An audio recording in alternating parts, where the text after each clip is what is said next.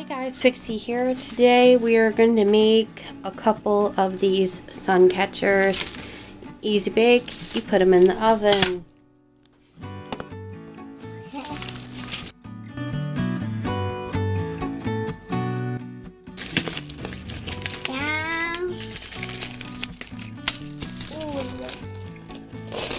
First, you take out your metal screens. You have one side that pops up and one side that is flat. The flat side goes down.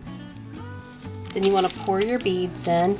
I lined it with uh, plastic um, wax paper and you'll want to put the beads in wherever that you want these little beads and then you pop it into the oven and then you get a nice sun catcher.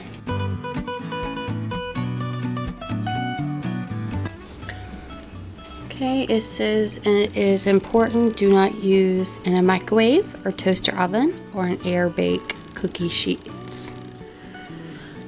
It says cook it for 375 for about 15 to 25 minutes until the crystals have melted into a smooth glass-like appearance.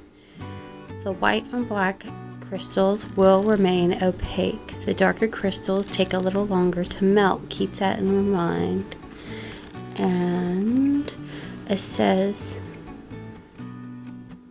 to let it cool for about 5 to 10 minutes and then you can hang it up with your little string and the suction cup that is provided.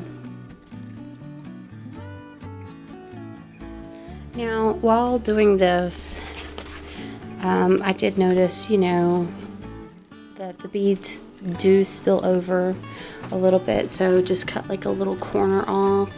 It says you can use tweezers but that'll take forever.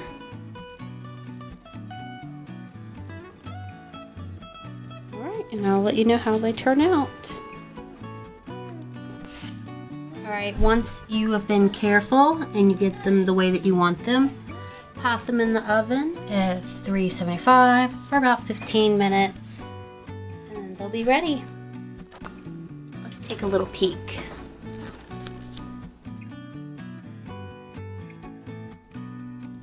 They are starting to melt. This is good.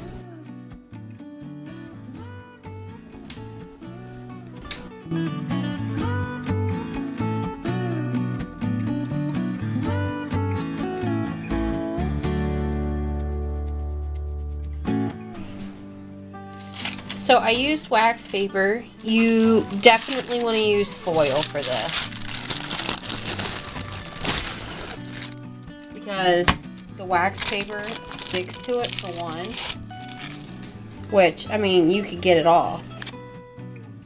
Just fine. But still, it, it's better to use um, aluminum foil. Now, on here, there's like some little extra bits right here. But I can break that off with my nail.